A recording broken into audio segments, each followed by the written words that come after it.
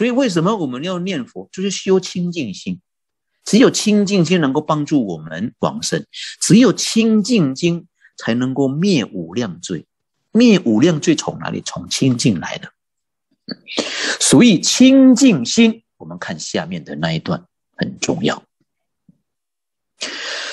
应该是什么时候修的呢？如果今天大家把经听明白了，你今天就要开始修了。我们才有把握。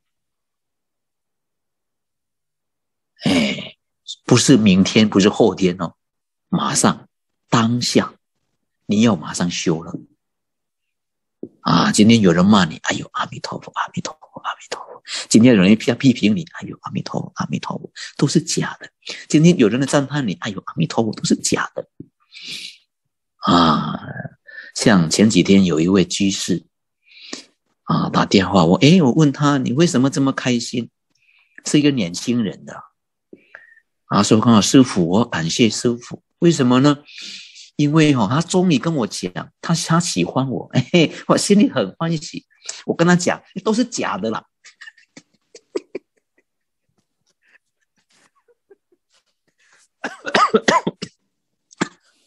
哦，所以这位居士啊，跟我讲这个道理，我说那都是假的啦。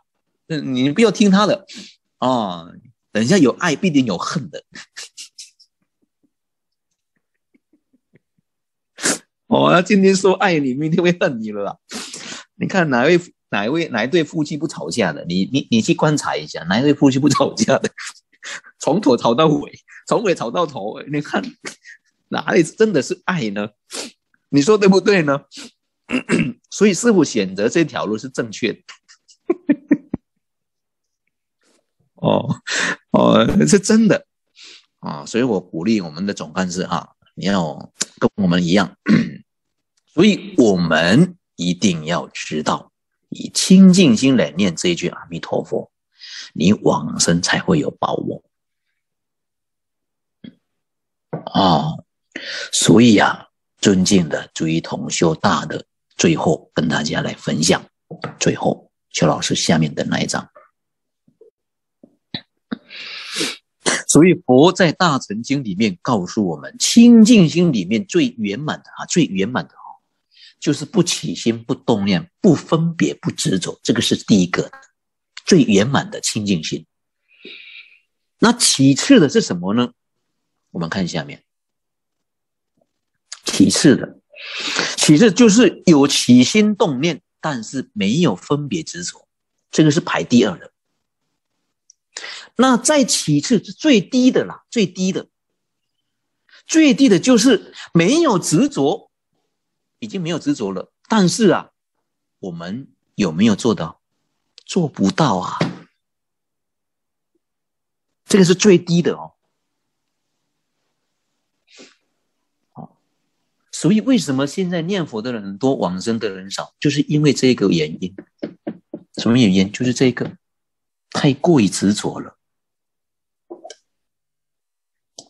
太过于执着了，执着这个身体是我的，执着这个财产是我的，执着这个东西是我的，执着这个是我的，执着那个是我的，执着这个，执着那一个，一丝毫都放不下。所以呢，你在这个世上不但往生不了，你在这个世上你是最苦的一个人。为什么人会苦？就是这个原因，他的源头就是这个执着过于过于执着。执着的太重了，